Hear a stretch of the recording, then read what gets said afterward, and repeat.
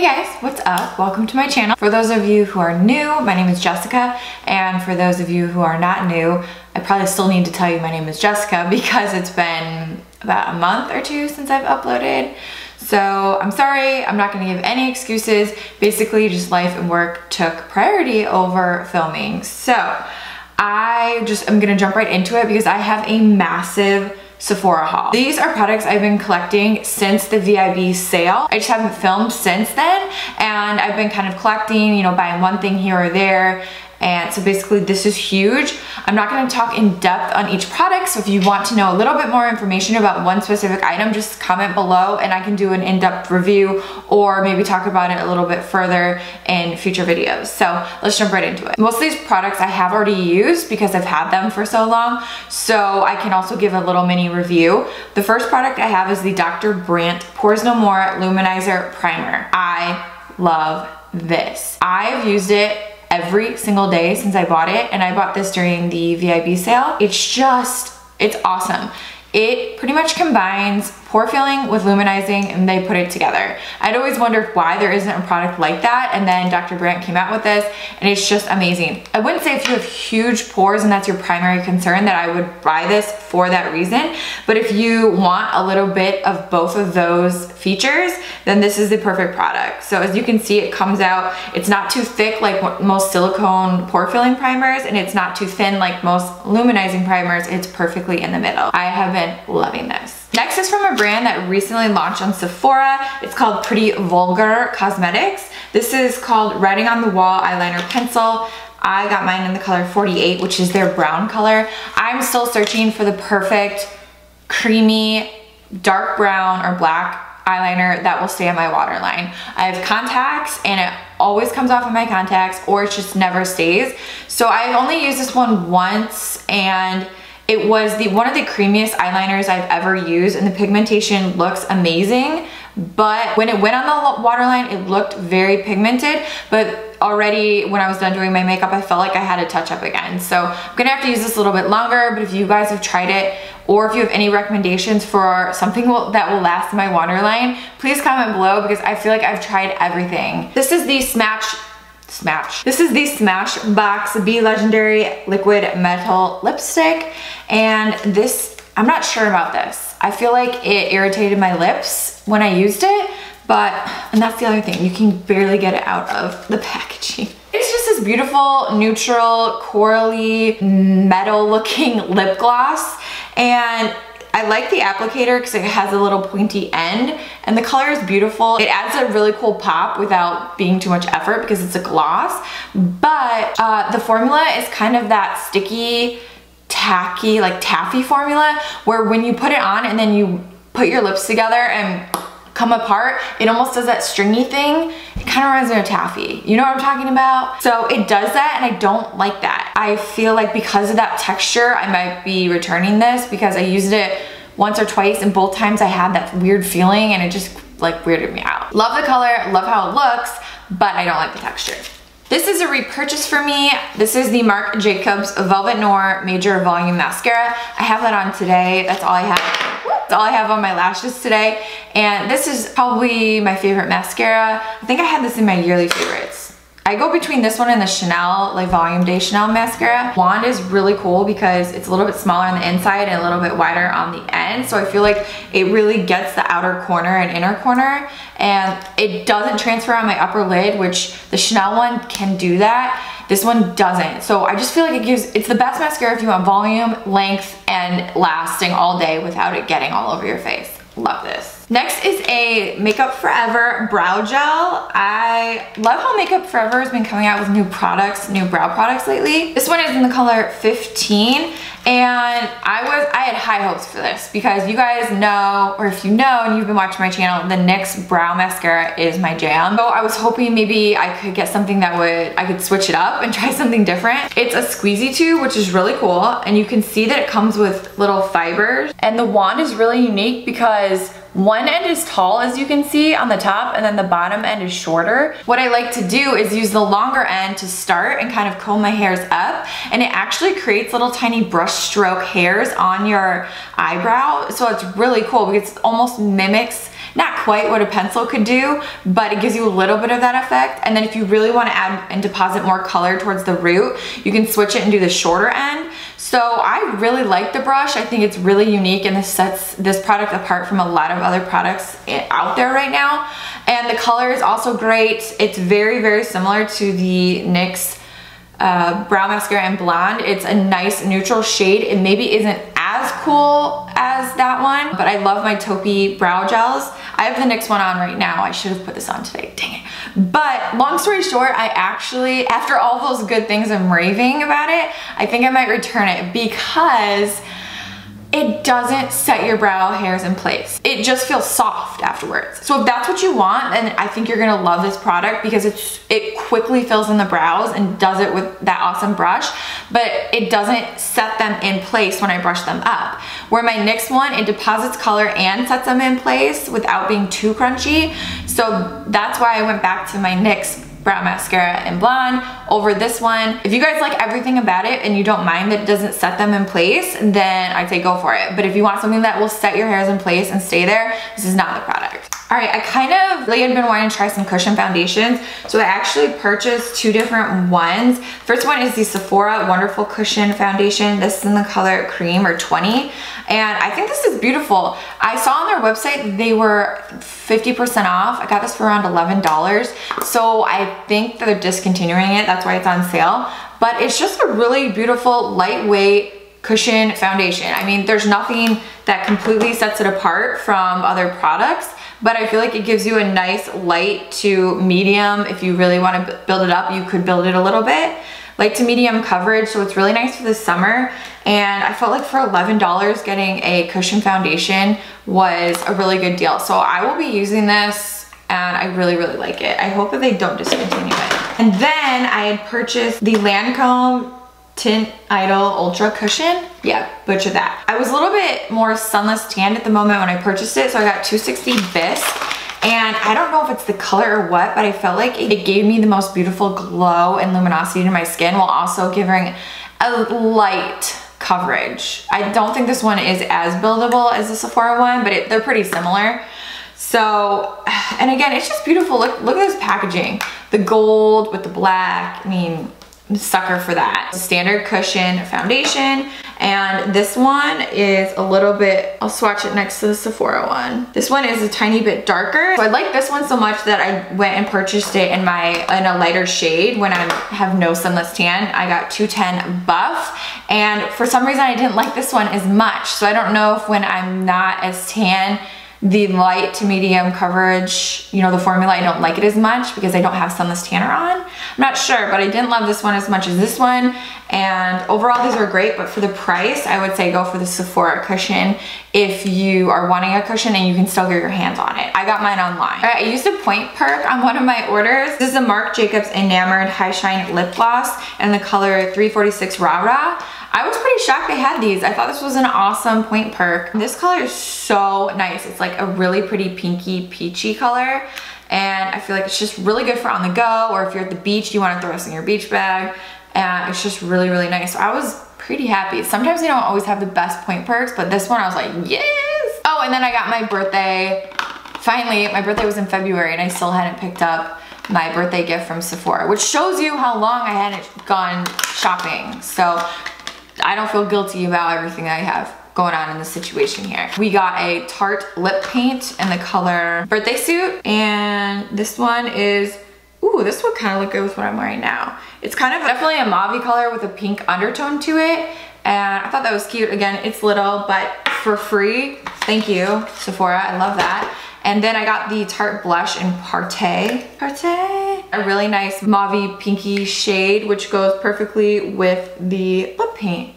So if you haven't gotten your birthday gift, go to Sephora and pick it up. And I also got a, I used, I've been kind of hoarding my points at Sephora because I feel like I'm not gonna use them unless they're legit worth using them, you know? So I saw that they had, I don't know if they still have this, but they ended up having a 500 point perk they added from Dior and I was like, yes, look how cute this is. Hopefully they still have it so you guys can get it if you want. But there were a few things in here and one is, I normally hate getting makeup bags or cosmetic bags, but look how cute this is. It's this little pink round Dior bag that I thought would be perfect for traveling or even putting in your purse. I mean, this is so cute. The pink with the raised Dior and the black zipper. Inside has those cute little uh, CD Christian Dior symbols. And then the products are inside. I don't even remember what's in here. Okay, we got a perfume, the Miss Dior Absolutely Blooming. I'll have to try that out. Then we got a little, holy, this is tiny. Do you see how small this is? Like, what? But it's super cute. The Lip Maximizer and Collagen Active, that sounds promising. It's a nice, super light pinky color. It looks almost like nothing. Yeah, pretty much like a sheer lip gloss, but I mean, this is really cute. And if it's gonna plump your lips at all, I'm down to try that. And you got their Dior mascara, also good for travel, and the Dream Skin Advanced Serum. So I'll have to give this a try. I've been really getting into the brand Drunk Elephant. I've been loving some of their products. This is the Drunk Elephant Lippe Moisturize Plus Volumize. This is Man, Man, Mango, Mangango Nut Oil. I don't know what that is avocado seed oil, and peptides. When you look at the ingredients, they look fantastic. I have allergies to certain things in products. I haven't figured out what it is yet, but sometimes I can get where my lips get bumpy and raised and they can swell and I've had that issue for about a year now so I'm I've been to the allergist, I'm trying to, I'm figuring it out and I'm getting tests done, but this is not, so far, aggravated my lips. I love how it's in a stick form, but it's thick so you can easily slap it on. Really, when I'm just home bumming around without makeup on, I whip this on and before bed I throw it on and it tastes really nice, but it's not not fragrance. It just feels like a really good natural lip product and I really like it. Next is a repurchase for me. This is during the Sephora VIB sale. So whenever I can get uh, skincare products at a discount, I usually take advantage of it. I didn't even need this yet. I actually still haven't even used this because I'm still using up my other bottle that's in my bathroom. But this is the Sunday Riley Luna Sleeping Oil. It has a little bit of retinol in it, um, but there's a lot of calming properties as well. So it's a really good oil if you want to incorporate a little bit of retinol, but it also is very calming and relaxing since it's an oil base. I use this every single night in my skincare routine. I love it. If you can get it on a discount because this stuff expensive, do it. Then this is also repurchased for me, but I hadn't used this in a little while and I thought I would try to incorporate it back into my skincare and I'm so glad I got it. This is also from Sunday Riley. This is the Good Genes All-in-One Lactic Acid Treatment. Now, um, if you have sensitive skin, usually lactic acid is a nice uh, AHA to go with versus glycolic acid because the molecules are a little bit bigger. They tend to plump your skin more, sit on the surface a little bit more. This just, I noticed when I use this, my skin just looks glowing, plumper. Even though it has a very low pH, I think it has a 2.5 pH level, which is pretty low for a AHA or a lactic acid. It has a lot of other ingredients in it to really calm and soothe the skin. So I feel like it does a really good job of exfoliating and plumping. And I just really, really love this product. But one tip I would say is if you're using that, I used to go through this quickly because I felt like my skin just ate it and it wouldn't I couldn't cover my whole face unless I did at least a full pump or more. But I noticed if I hydrate my skin first with a toning spray or some type of hydrating water first and then put this on, it, I can use a lot less of it and you can extend the life and keep it a lot longer. Because again, this is a very expensive product, but love, these are my two some of my two favorite Sunday Riley products. Another product I recently started incorporating in is this Clinique Moisture Surge. Clinique, I think just recently launched this product and if you have dry skin or you need something that helps keep your skin hydrated all day long, this is amazing. This has little capsules of hyaluronic acid and what it does is you pump it into your hand. I'm just gonna do a tiny bit here you pump it in, it's like a jelly-like consistency, and then when you rub it in, you feel those capsules kind of explode on your skin, and they literally, I feel like you can see your skin plump up and hydrate as you're rubbing it in. It smooths your skin, it helps keep my skin moisturized all day long. I'll even drag this down my neck and put it on my chest and I just, I really, really love it. It's my last step in my skincare. It's kind of turned into like a mini skincare video. If you want me to do a full in-depth skincare video, I will do one, just let me know. This is the, I've been looking for a really good physical sunscreen. Uh, there's physical sunscreens and chemical sunscreens and Basically, long story short, physical sunscreens reflect the sun's rays. So it's usually titanium dioxide or iron oxide, which reflect them off of your face, where chemical sunscreens absorbs the sun rays and it's chemical based. So some people have um, reactions to one or the other, depending on your skin type. So this is the Josie Maran Argan Daily Moisturizer. This is SPF 47. Why they didn't just put 50, I don't know. But I really like this. I feel like for physical, physical sunscreens, you're gonna have an issue with that white, you know, getting a white cast because that's the point is it's hitting your face and reflecting off of those uh, minerals. So it is a little bit of a white cast, but it's been the easiest one to actually blend in and with the other ingredients in it, it really gives a nice moisturizing feel to the skin. It blends in really, really nicely and I feel like it's done a great job of protecting my face when I do go out in the sun and use this. So I've been really, really liking this. All right, we're almost done. A few products left. I got another set using points. This might have been another 500 point perk. I told you, I accumulated my points and I was hoarding them. And then finally, I feel like Sephora's been stepping up their game. So I found this set from YSL and one of them is their mascara, which I think I had used a while ago and I liked. But anytime I can get these, oh no, this says the Shock Mascara. Is this new? Have you guys tried this? Is this new? Please let me know. Ooh, and it looks like a really nice brush too. Okay, I'm excited to try this. And we're going on vacation in July, so maybe I like getting these smaller tubes. It's easier to travel with. Then also in it came the Touche Éclat Blur Primer. I have a sample of, of this I'm almost finished using and it's really pretty. It has little gold speckles in it. It does a good job of, I feel like it pore fills nicely and really smooths out your skin. It's one of those that your skin feels really smooth after. So I like that. And then this lip product, I wasn't sure about this and I haven't worn it yet, but I swatched it and it's beautiful. This is number 52, Rouge Pur Couture. And it's the most beautiful summer, bright summer pinky corally shade. Ah, and it's super creamy. Oh my gosh, I'm so excited to wear this. So was pretty excited about that point perk as well. And then the last point perk I got, I think this was 100 points. This is from Hourglass Girl Lip Stylo. This is in the color Peacemaker. I've been seeing a lot of people talk about this. I think Hourglass sent out PR packages to a lot of the big beauty gurus. So they had, I've seen a lot of people talk about these. So I was actually excited to use 100 points to get this. I thought for Hourglass, that was a pretty good point perk. I like how it's a twist up pencil. It looked like a really beautiful nude neutral color. It's very creamy, but okay, it's beautiful, right? It's Hourglass, it's a really beautiful color, nice packaging, but, but when I wore it, I wore it to work one day and I started getting the inner rim like butthole lips. I wish there was another way to say that, but it's true. It started wearing off. If it wasn't for that, I would really like this product, but I feel like for being prestige, high-end, I don't even know how much these full-size ones are, but I would not, I wouldn't purchase one because of how it wore off and it was kind of weird. But other than that, it was really pretty.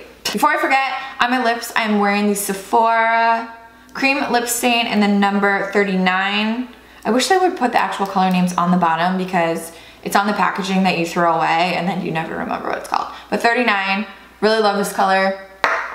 And yeah, if you are still with me, that's amazing. I'm going to try to get back into it and upload more frequently. So if you guys have suggestions on some videos, please leave them below. I feel like I was kind of in a rut and I want to do more than just, you know, makeup hauls and favorites videos. All those are my favorite to film. That's probably why I do so many of them. You know, my Instagram is mainly fashion. I'll link that below or put it right here.